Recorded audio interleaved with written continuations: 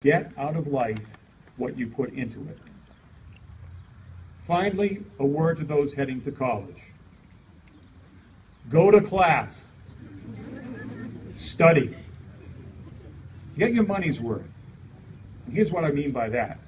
Squeeze every ounce of goodness out of your college experience.